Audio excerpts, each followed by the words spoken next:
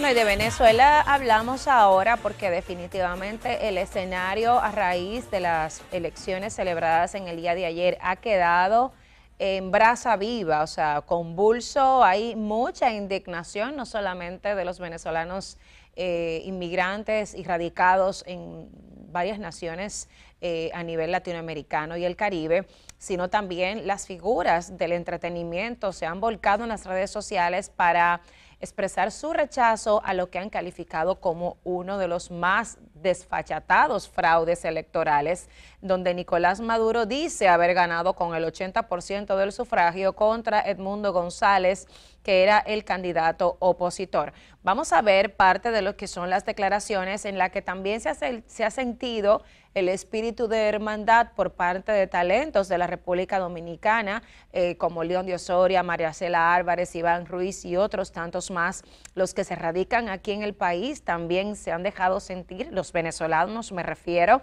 Eh, hay declaraciones de Jessica Pereira donde rechaza rotundamente.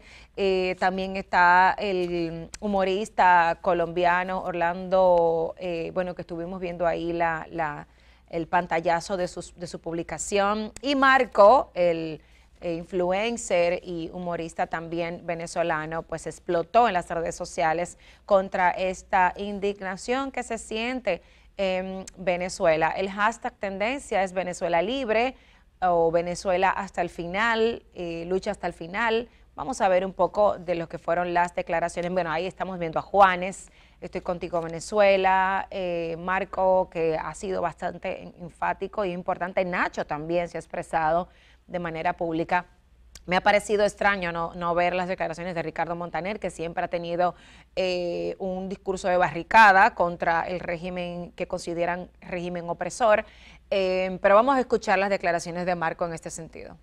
Igual que ustedes, mi día está lleno de muchísimas emociones emociones que van desde la frustración hasta la alegría, porque sé que se lograron muchas cosas y al buen entendedor pocas palabras, pero les voy a, dar mi opinión. Mi opinión es que María Corina y Edmundo sabían que el lema hasta el final tenía que ver justo con lo que pasó anoche. Y eso me deja una esperanza en mi corazón de que hasta el final no era ayer que ese hasta el final empieza a haber un comienzo en estos próximos días. Hasta el final. No sé si me entienden lo que les quiero decir. Felicitaciones al equipo del mundo y Maracorina por el excelente trabajo que hicieron y que siguen haciendo.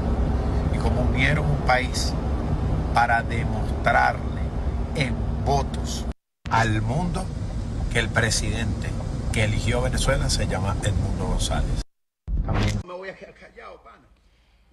La Beba Rojas y Jessica Pereira, que son dos venezolanas radicadas en el país, eh, la Beba Rojas dice que golpe de Estado a la voluntad popular más burdo, asqueroso e inexcretable que, jamás, que se haya cometido jamás. Jessica Pereira dice hasta cuándo, qué descaro.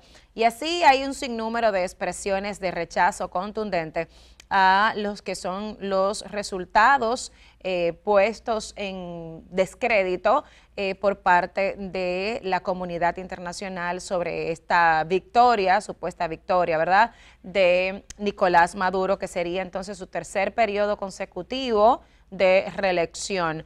Eh, el comediante Orlando Urdaneta era el que le comentaba y ha, hecho varias publicaciones. Una de estas dice un narcodictador que acaba de designar como la nueva, que acaba de designar a la, bueno, hay unas siglas aquí que no le entiendo, como la nueva presidenta de Venezuela, pero está hablando de manera eh, irónica, evidentemente.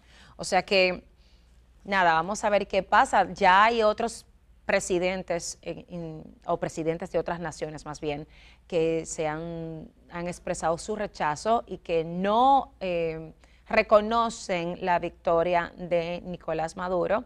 Me estoy refiriendo a Bukele del, Salvador, eh, que también ya lo ha hecho público.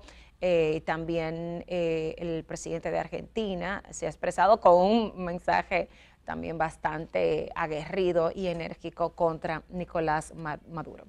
Vamos eh, a otras informaciones y en este caso, bueno, también siguiendo ahí con el tema de Venezuela, ustedes saben que uno de los artistas dominicanos que tiene una relación eh, primaria y que visita bastante Venezuela es Boni Cepeda, el maestro Boni Cepeda quien acudió a las redes sociales para desmentir que haya sufrido un desmayo precisamente durante un mitin de cierre de la campaña en apoyo al presidente Maduro.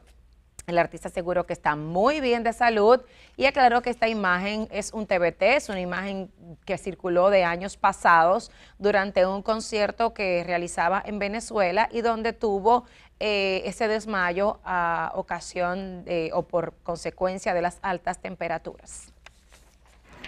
Boni Cepeda por aquí, sano, salvo, en salud. No se lleve mucho de las redes porque vi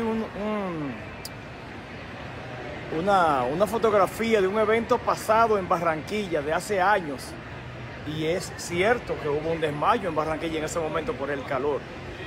Me encuentro ahora mismo caminando, feliz, contento y en salud.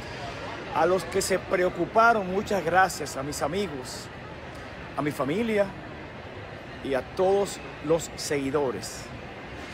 Seguimos por aquí ¿eh? con calor. Hola, hola, ¿qué tal?